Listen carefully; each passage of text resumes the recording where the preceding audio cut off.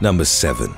Roy Den Hollander American lawyer Roy Den Hollander was a self-admitted anti-feminist and a men's rights activist who'd filed a string of lawsuits against ladies' night promotions at various nightclubs and bars. He also sued Columbia University for incorporating women's studies classes. His lawsuits were largely unsuccessful and openly mocked by those he sought to oppose. In 2015, he represented plaintiffs challenging the constitutionality of the male-only draft in the United States District Court for the District of New Jersey. Judge Esther Salas allowed the case to proceed to court but was against some of Hollander's arguments. He later came to believe that she was purposefully stalling out of political motivation. Hollander had also been part of the National Coalition for Men, or the NCFM, before he was kicked out following a disagreement with fellow members, including lawyer Mark Angelucci.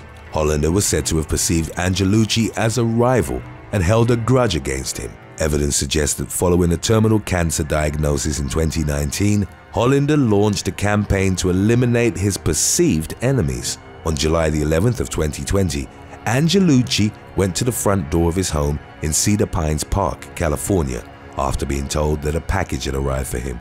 A man dressed as a delivery worker then executed him at point blank range. Angelucci was pronounced dead at the scene. Eight days later, Judge Esther Salas was in the basement of her home in New Jersey when a gunman arrived at her residence. Her 20-year-old son, David, was shot dead. Salas's husband, Mark, also suffered multiple gunshot wounds and was left in critical condition, but survived. A man in a FedEx uniform was spotted in the neighborhood at the time of the attack, but he couldn't be confirmed as the shooter.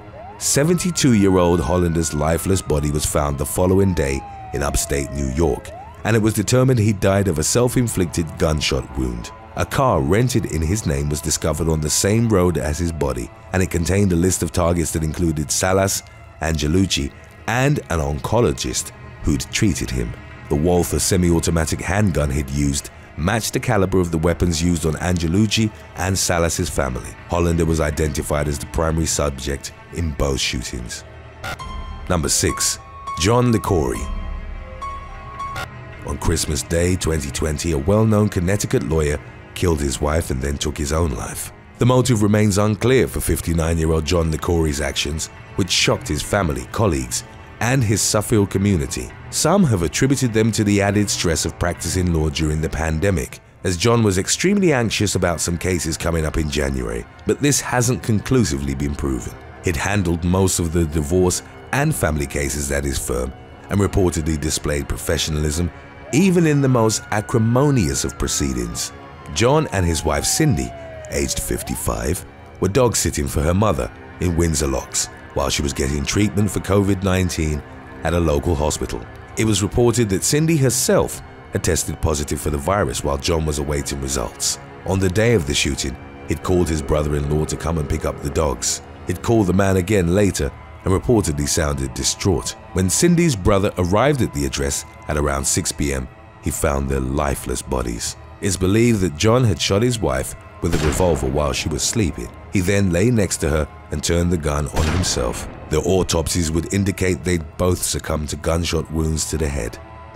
Number 5. Todd Macaluso From 2009 to 2010, Todd Macaluso represented Casey Anthony in what Time magazine dubbed the social media case of the century. Anthony faced the death penalty after being charged with the murder of her own child, which prosecutors argued she'd done to free herself from parental responsibility. In 2011, Casey was found not guilty of first-degree murder, aggravated child abuse, and aggravated manslaughter of a child, which triggered public outrage. Following her acquittal, Macaluso reportedly used his private jet to fly her out of Orlando. In November of 2015, Macaluso was given heavy fines and sentenced to five months in jail after pleading guilty to wire fraud in California.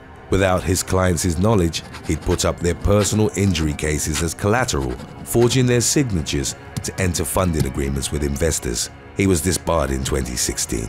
While out on supervised release, that same year Macaluso was involved in another high-profile case, only not as a legal representative, but as a suspected drug smuggler. He was charged with taking part in an international trafficking conspiracy that involved transporting roughly 3,000 pounds of cocaine aboard his Falcon 10 private jet. According to the prosecution, he'd repeatedly met with drug distributors in Tijuana, Mexico. In November of 2016, he flew to Haiti and was expected to transport the drugs the day after his arrival. The plan was to take them to Honduras, from where they'd be sold to Mexican dealers and imported in the US. Once the drop-off was complete, Macaluso was supposed to receive $200,000. According to federal agents, the plot was uncovered after his name came up while investigators were looking at drug traffickers planning to use planes registered in the US. Macaluso never made it out of Haiti as he was arrested alongside two accomplices. The former lawyer was extradited to the US where he was ultimately sentenced to 15 years in prison in addition to a $10,000 fine. Number 4. Thomas Lowe In August of 2011, lawyer Thomas Lowe, a man in his late 50s, met a client whose identity wasn't released to discuss the possibility of representing her in a divorce. Lowe who worked out of an office in Burnsville, Minnesota, then preyed on the woman's vulnerability.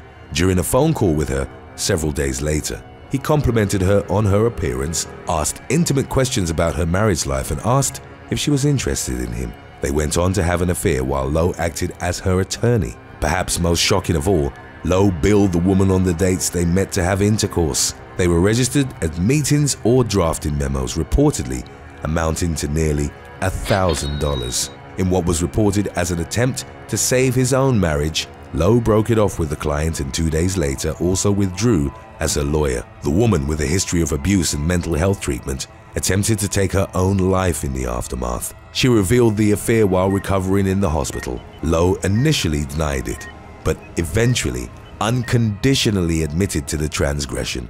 On January the 10th of 2013, the Supreme Court of Minnesota ruled that he be suspended indefinitely. Number 3. Michael Avenatti In one of the more high-profile cases of his career, lawyer Michael Avenatti represented adult film actress Stephanie Clifford, professionally known as Stormy Daniels, in the scandal with former US President Donald Trump. Daniels had attempted to go public on an affair she'd allegedly had with Trump in 2006. In the final days of the 2016 presidential election, she was paid $130,000 by Trump's lawyer, Michael Cohen, to sign a non-disclosure agreement. Avenatti then represented Daniels in March of 2018 in a lawsuit seeking to invalidate the NDA.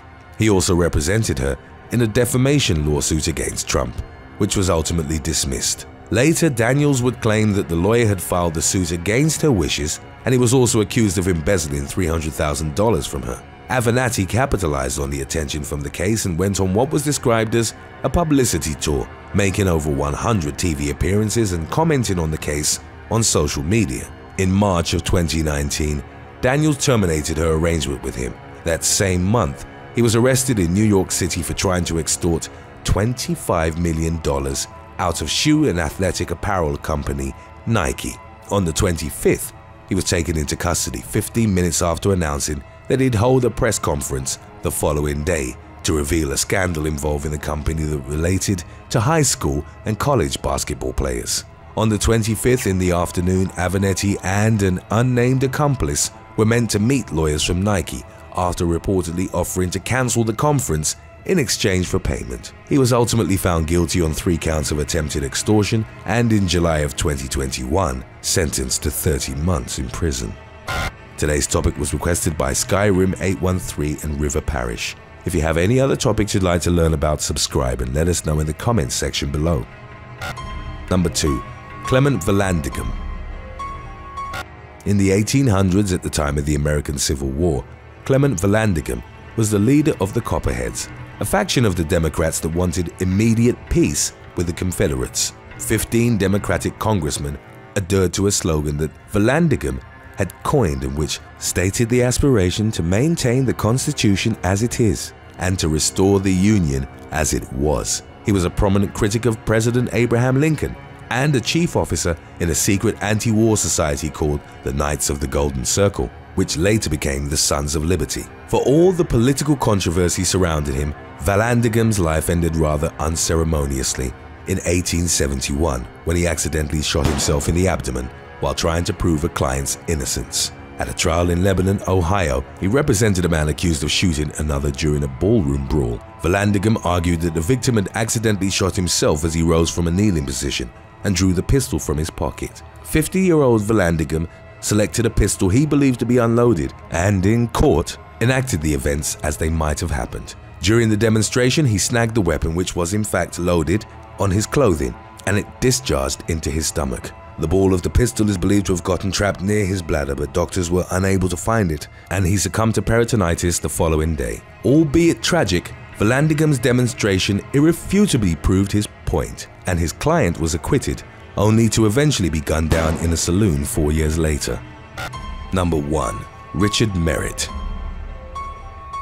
In January of 2019, disgraced and disbarred lawyer Richard Merritt was sentenced to 15 years in prison and another 15 on probation for stealing from over a dozen of his clients in Cobb County, Georgia. 44-year-old Merritt was found guilty on 34 counts of theft and exploitation. He admitted to settling civil lawsuits behind his clients' backs, forging their signatures on official documents, and then keeping the money intended for them. Roughly 17 of his clients were affected by Merritt's actions that resulted in him stealing over $450,000 which he reportedly used to buy a Porsche and pay for lavish holidays. After his sentencing, Merritt was given two weeks to get his affairs in order, after which he was meant to turn himself in on February the 1st. Merritt didn't surrender to face justice for his crimes and instead cut off his ankle monitor and went on the run. U.S. Marshals headed to a Stone Mountain home in DeKalb County on February the 2nd to retrieve him. They arrived to find that his mother, 77-year-old Shirley, had been brutally murdered. She'd been bludgeoned and stabbed to death, with Merritt subsequently becoming the main suspect in her killing. He was also reported to have stolen his mother's Lexus SUV as he fled from the law. A nationwide manhunt was launched, with US Marshals warning the public not to engage Merritt as he was to be considered armed and dangerous. There were concerns that he'd seek revenge on his former clients who'd pressed charges against him. After around eight months, he was found near a thrift shop in Tennessee and arrested without incident a DeKalb County grand jury indicted him for the murder and assault of his mother. According to updates on the case, he was still awaiting a trial date. Thanks for watching. Would you rather represent yourself in court facing serious time or a serial killer who you knew for sure was guilty? Let us know in the comments section below.